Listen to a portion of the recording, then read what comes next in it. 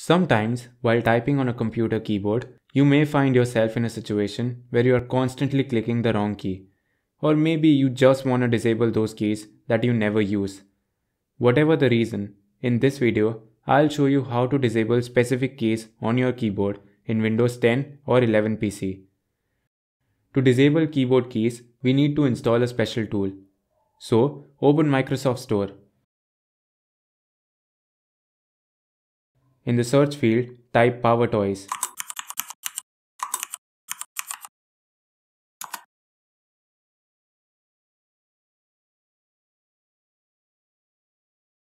Microsoft Power Toys is a system utility package for customizing Windows. Install the Power Toys application.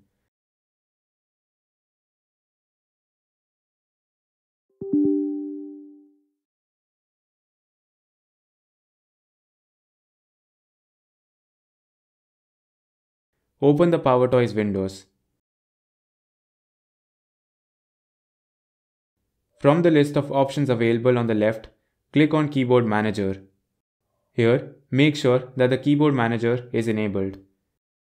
Now, click on Remap a key. This opens a new window. To disable a key, click the plus icon. In order to select the key, just type it on your keyboard.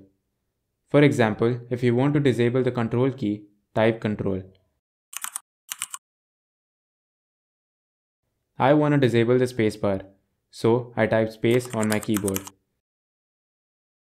So select the key that you want to disable, then from the map to drop down, select disable.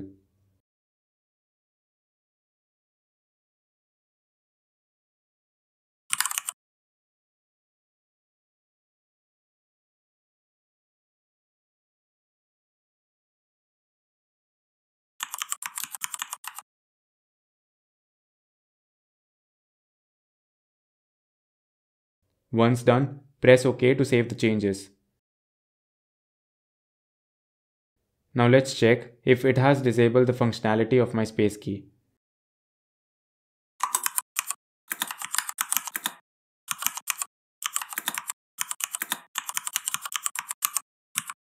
You can see the spacebar is disabled now.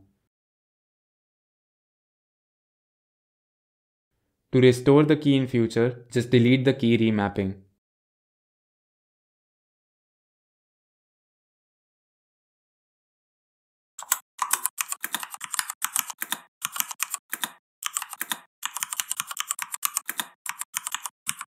And it's working again.